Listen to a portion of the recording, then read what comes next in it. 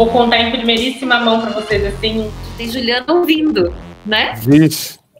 Esse grupo é, é bom porque é cada uma na, na sua, no seu ritmo, na sua cidade, mas todo mundo na mesma vibe, sabe? Tesão, deslancha e. Só que, a, só que a minha cabeça tá a milhão. Eu estou vivendo a nova economia, gente. Quando eu me dei conta disso, foi muito legal. Estou passando um tapa na cara, literalmente. Para que seja muito coerente, né? E eu sei que tudo que a gente tá fazendo é para ter essa coerência.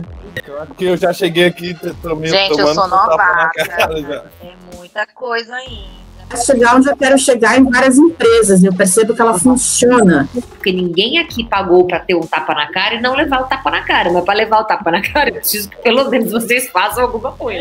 trazer uma flexibilidade muito grande para o home office, para o co-work, e a gente não vai precisar despender, porque hoje o que seria para mim uma super despesa é o aluguel.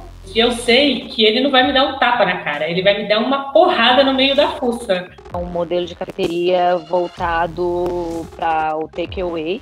Mas já, eu já tô vendo o quanto que vai me ajudar para ter essa visão, esse planejamento de futuro, né? É um momento que eu vou poder falar de finanças e de empresa numa conexão muito bacana.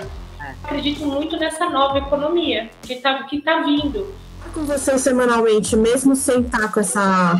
Com tudo pronto na hora certa, vai me ajudando a me impulsionar. Agora chegou a minha hora.